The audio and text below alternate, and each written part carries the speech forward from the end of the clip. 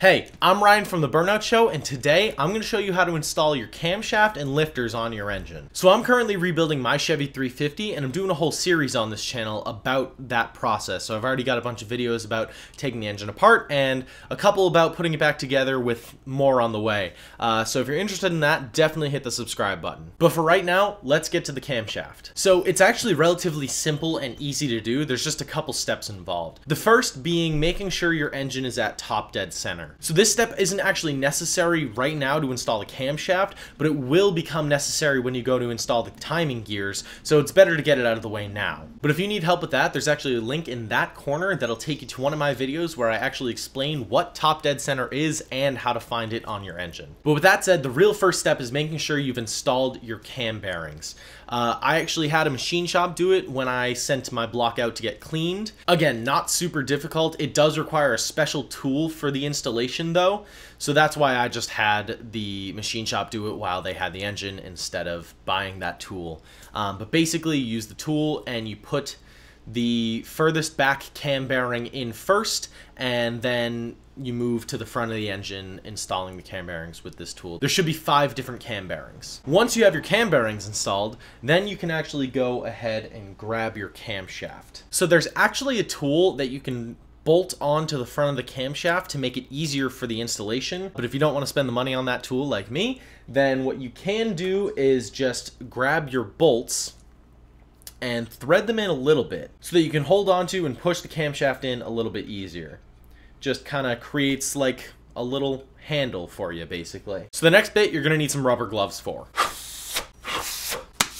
You're going to want to get some engine assembly lube. My top end kit that the camshaft came in gave me a tube of assembly lube with it, but you might have to go out and get some engine assembly lube on your own. You're going to take the assembly lube and put a good glob of it on every single lobe, whether it's the bearing lobes or the actual uh, lifter lobes. And like I said, just put a good glob on it and spread that around and get that all lubricated.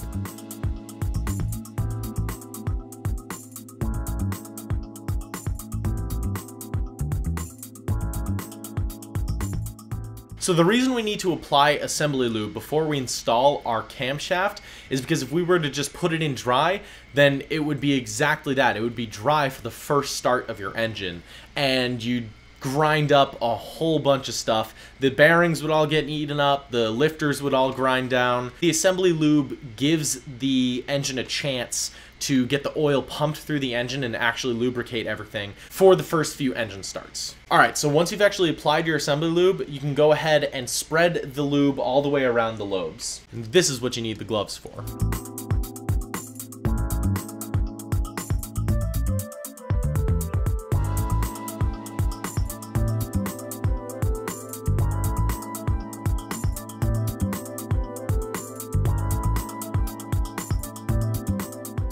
Alright, so now that we've got the camshaft at the engine, it's time to go ahead and put it in. The only thing you gotta be careful of is to not push the bearings out as you're putting in the camshaft, and just to be careful to not scratch the bearings at all. You might have to uh, twist it around to push it through some of the bearings, but generally, it just slides right on in, especially if you get it lubed up enough.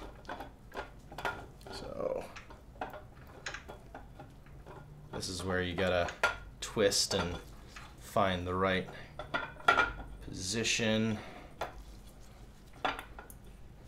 And there you go. Now obviously that's not done just yet because we need to finish the uh, rotation placement and then install the timing gears, uh, but that's not for this video. This video is just showing you how to actually prepare the camshaft and get it installed just like this. Now we're gonna move on to the lifters. So the lifters are actually super easy. All you need to do is take your engine assembly lube from earlier, get some of that on here,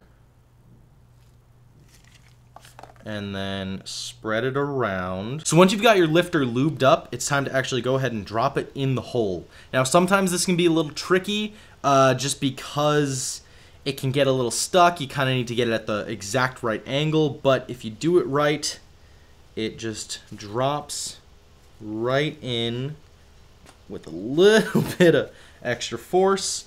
Now that's probably where the lobe is at, sticking up like that. But yeah, basically that's it. you lube up the lifter and you drop it in. Like I said, it can be a little tricky. It can get kind of stuck. You just need to get it at the right angle and make sure it's perfectly straight and then you should be able to push it in with minimal effort. So that's basically all there is to it. Obviously you need to repeat the process for that one lifter for all of the lifters. But once you've got all that done, you're ready to move on to the next step, which should be installing the timing gears. Definitely stay tuned for that. I'll be making a video about that real soon. But like I said, that's gonna be it for this video. Definitely subscribe and hit the like button if you found this video helpful. It really helps us out and it helps other people find these videos as well so that they can learn how to do these things. Thanks for watching and I hope this helped.